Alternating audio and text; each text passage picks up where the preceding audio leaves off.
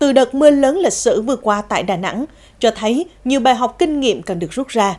Trong đó, về lâu dài, cần có định hướng và chủ động ứng phó với thiên tai đang ngày càng phức tạp khó lường. Đây là ý kiến chỉ đạo của Chủ tịch nước Nguyễn Xuân Phúc trong chuyến thăm và làm việc vào chiều tối qua ngày 19 tháng 10 với thành phố Đà Nẵng về khắc phục thiệt hại do bão số 5 và mưa lũ gây ra trên địa bàn thành phố.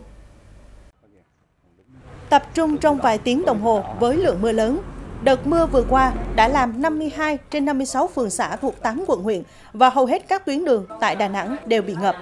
Gần 70.000 nhà dân ngập chìm trong nước lũ. Theo Chủ tịch nước Nguyễn Xuân Phúc, thiên tai đang ngày càng phức tạp, khó lường. Vì vậy, về lâu dài phải có biện pháp ứng phó với sự cực đoan của thiên tai. Thiên tai lũ lụt luôn luôn đe dọa bất ngờ. Không phải như truyền thống trước đây. Chúng ta phải có những biện pháp của sự cực đoan của thiên tai công tác quy hoạch cần chú trọng. Chúng ta dù thành phố ven biển, nhưng phải quy hoạch và phải đầu tư bài bản hệ thống thoát nước. Không chỉ tính cái này, bước đi cái này. Tất nhiên là với một cái, một lượng mưa lớn 500 đến 700 ly như vậy, thì không có sông suối nào, không có cái cống rãnh nào chịu đựng nổi. Nhưng mà chúng ta ít nhất thông cống, rồi xử lý những việc mà trong trước mùa mưa lũ vẫn được yêu cầu.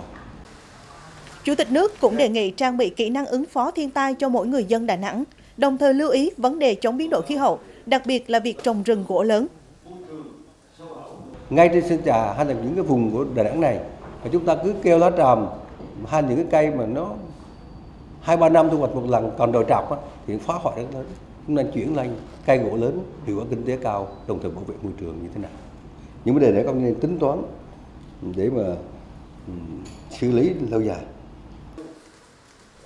Chủ tịch nước Nguyễn Xuân Phúc đề nghị thành phố Đà Nẵng tập trung mọi nguồn lực để khắc phục hậu quả do mưa lũ gây ra, không để người dân thiếu đói, bảo đảm ổn định chỗ ở, công tác vệ sinh môi trường cho người dân, nhanh chóng khắc phục hạ tầng giao thông, bảo đảm trường lớp để học sinh trở lại trường, có phương án tốt khắc phục sạt lở đất đá tại Nghĩa Trang Hòa Sơn.